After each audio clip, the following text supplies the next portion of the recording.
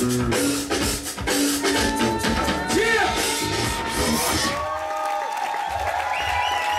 Very, very tight battle. Very tight battle. All right. That was FCB and Street Flavours. But there can only be one winner. Judges,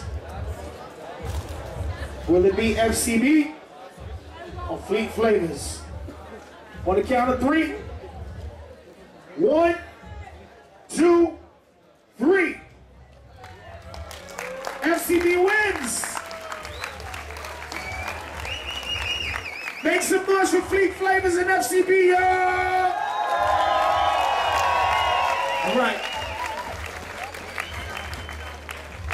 Now, we're going to take a five minute break. Just a five minute break.